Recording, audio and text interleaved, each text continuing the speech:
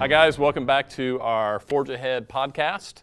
You know, in the spring, now that all the rains have finally quit, I find myself outside doing lots of yard work, uh, getting rid of leaves, a lot of mowing, and then, of course, cultivating to plant new things. And that made me think about the importance of us as men cultivating um, our relationship with the Lord. You know, if we're not careful, uh, we can get out in the weeds pretty quick, things can get overgrown, we can get pretty far away in that walk with the Lord.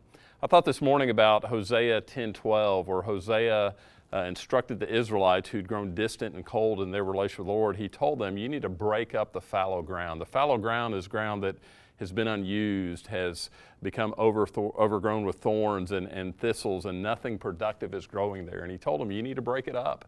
Uh, you need to get ready to plant new things in your life." And that's true for us as men. Um, if you haven't spent time lately, I'm talking about not just five minutes, but some significant time in the Word, it's likely you need to do some cultivation in your relationship with the Lord.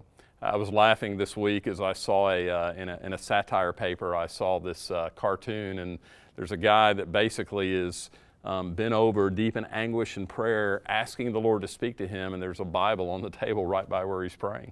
Men, if we want the Lord to speak to us and, and give us direction in our lives at, at home and at work and in the relationships we have, we got to get in the Word. We got to spend time in the Word. So the challenge today on our Forge Ahead podcast is simply this spend some time in the Word, not just five minutes at the start of your day, but take some significant time somewhere this week and spend it in the Word and ask the Lord to speak to you through His Word.